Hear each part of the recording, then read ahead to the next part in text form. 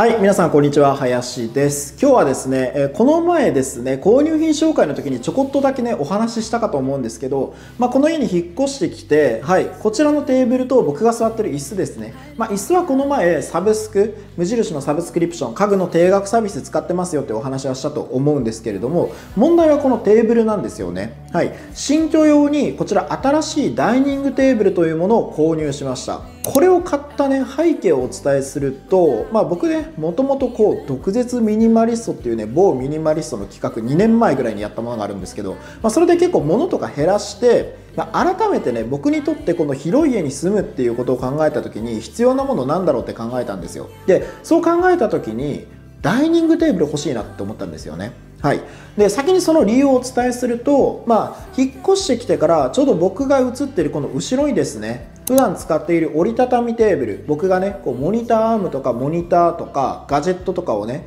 置いている普段の作業デスクっていうのを後ろに置くんですけどその手前にこのダイニングテーブルがありますと。で今後ろにちょっと椅子映ってるでしょ？あれ？あのちょうどね今ねゲームをしていたのであそこに椅子もう1個置いてるんですけど椅子2つ買ってます。でその椅子を反対側に置いて、まあ、誰かね友達とかが来た時にご飯も食べれるしあと仕事をする場所をねこの家の中でいろいろ変えれるなって思ったんですよ。今の僕の 1K の家の場合だとやっぱり自分の机しか仕事をする場所ないんですよね。なんですけどこれを要はダイニングテーブルを買ってこちらの椅子に座って例えばノートパソコンをここに広げて、まあ、仕事もできるなと思ったので、まあ、家の中で自由自在に仕事をする環境を選びたいっていうことでこちらダイニングテーブルを購入しました。ということで今日は無印良品でこちらのダイニングテーブル買ったんですけれどもこれ結構組み合わせが効くダイニングテーブルなんですよね、まあ、なのでこちらを今日はね紹介していこうかなと思います。では早速、えー、詳細いってみましょう。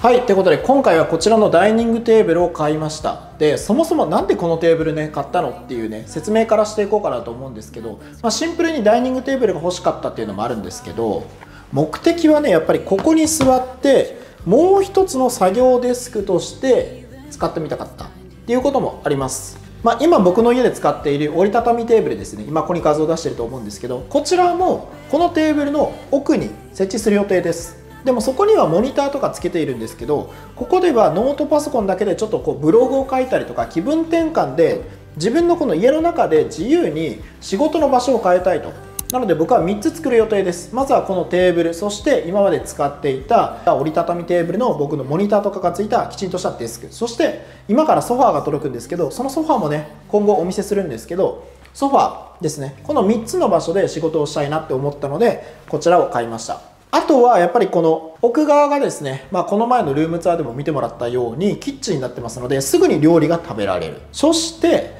あとはですねこれ YouTube あるあるなんですけどここに何かスタンドみたいなのを取り付けて俯瞰撮影したいなと思ったんですよ。やっぱり今の僕の折りたたみテーブルだとやっぱりモニターとかもねガジェットとかスピーカーとか置いちゃってるので俯瞰撮影厳しくなりました。なんですけどこの何もない空間で俯瞰撮影できるしちょうどここから紐入ってくるので自然光で撮れるんですよ。最高の撮影環境を手に入ったなと思ったので今後は何かね無印の商品とかガジェットのレビューとかするときにはここで俯瞰撮影とかもちょっとやっていこうかなと思っております。あとはこちらのテーブルの、まスペックお話をするとこれは幅120で高さが60の天板です。これは17,900円で買えます。で他にもサイズいろいろあって 80×80 だったりとか 80×40 とかあってもちろんサイズによって値段は変わります。あとはこの足ですね。こちらの足これ自分で組み立てる必要があります。72センチのものを僕は買いました。72センチのもので1万2000円です、まあ、なので金額としては1万7900円の天板。そして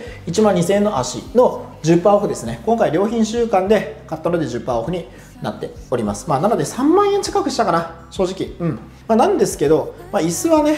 はい、えー、この前の動画でも紹介したようにこちらサブスクなので、まあ、金額としてはこのテーブルだけかなっていうところ。ですかね。はい。であとねこれ注意しなきゃいけないのはこれ自分で組み立てないといけないのでこの天板結構重いんですよ。これね折りたたみテーブルの総重量ぐらい重いしっかりとした天板なのであのこれね舐めてたら結構痛い目合います。なので女性1人で組み立てるのちょっと厳しいかなと思いますので、まあ、男性1人もしくは女性2人でこちら組み立てるようにしてみてください。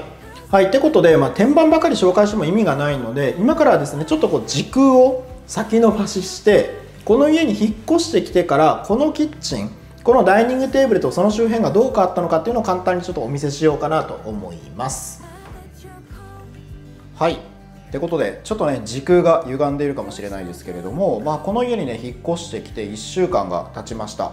はい、えー、先ほど組み立てた、えー、こちらのテーブルは、まあ、先ほどと同じ位置にですねありまして、まあ、無印良品で、えー、こちらサブスクリプションで契約した椅子2つとで天板と足ですね。今回紹介したテーブルをこちらに置いております。はいここですね。ユニットシェルフをこちらに置いております。これ新しく買ったっていうよりかはあの今写真でね載せていると思うんですけど昔の部屋で、まあ、連結して使っていた部分の小さい方ですね、まあ、このホタテ。こちらの、まあ、要は棒をですね。もう1個買って別々で使うことにしました。ちなみに大きい方はですね今リビングの方に、え1つ置いていますので、まあ、別々で、今回はこの小さい方をキッチンで使うというやり方にしました、ここには炊飯器無印の炊飯器と無印のコーヒーメーカー置いてます。まあ、やっぱりこんな感じで棚にきちんと置くことによってもう本当にね自炊がめちゃめちゃはかどってます。そして下の方にはバルミューダのケトルとあとこちら僕リモートワーク中心なのでえ普段の飲み物ですねコーヒーの豆だったりとか、まあ、奥の方には、えー、お茶ティーのねあのパックとかを置いております。あと下はねファイルボックスが5つ入るので、まあ、こちらには仕事関係の書類とかも入れてるんですけど、まあ、あと w i f i の機器とかですねあのここにね光回線のものがあるので、まあ、一応その機械が見えないようにファイルボックスにしまっております。そしてテーブルはこんな感じで、まあ、ちょっとさっきまで朝ごはん食べていたのでコーヒーの、はい、カップが置いてあります。そして出窓ですね。この家出窓があるんですよ。こんな感じで1つまた植物を追加して買いました。無印のですね植物を追加して買ってあとやっぱり、えー、ここの空間ですね。まあ後で見せるんですけど机も置いているので基本的に、日中はここで過ごすことになります、まあ、なのでいい香りに包まれたいなってことでまたこちらのインテリアフレグランス、えー、ハーバルの香りの、まあ、この部屋に合わせて大きいサイズを買いました。はいまあ、出窓にねやっぱり飾るとすごく、まあ、すっきりしていいんじゃないかなっていう感じですね。はいそして、えー、こちらには、まあ、前の家と配置何も変わってないんですけど作業デスク置いております。まあ、机が2つあるんですけれども、まあ、こっちは本当に仕事だけ仕事メインで使うようでこっちのテーブルはま食事だったりとか、まあ、今こちらにねモニターつなげて仕事をしているんですけど、ま、ちょっと気分転換にノートパソコンだけで作業したいという時には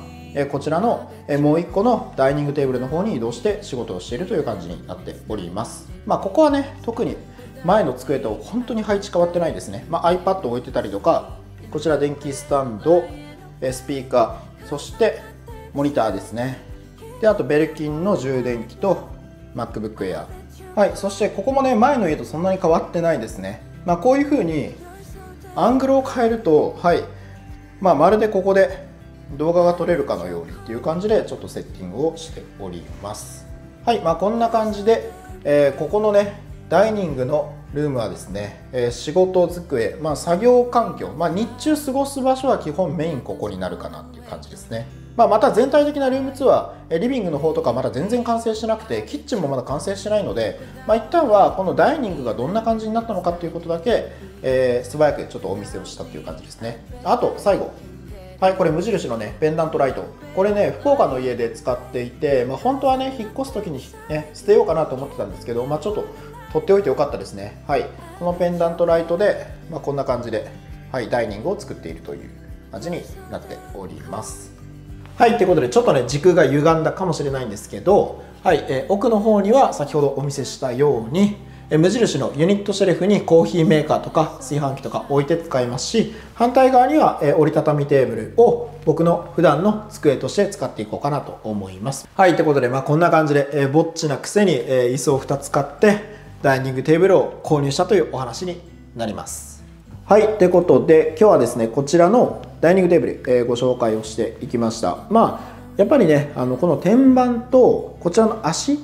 バラバラで売ってるのでこの天板はそのままで要は足を短いものに変えたらこれローテーブルにもできます。であと天板も結構大きさのサイズあのありまして僕はね 120cm×60cm 買ったんですけど8080だったりとかもっと大きなものもあります。なので自由自在に自分の好みのテーブルを作れるっていうのでこれ結構ね組み合わせ自由。やっぱり無印結構自由に組み合わせできる家具って多いと思います。スタッキングシェルフしかりユニットシェルフしかりという感じでね。まあ、なので今回はこちらのテーブルをご紹介したんですけれども、まあ、皆さんもねあの自分のライフスタイルに応じて自由に組み合わせができるこちらのテーブル結構ね使えるんじゃないかなと思いますので、まあ、これから新生活始められる方非常に多いと思います。是非取り入れてみてください。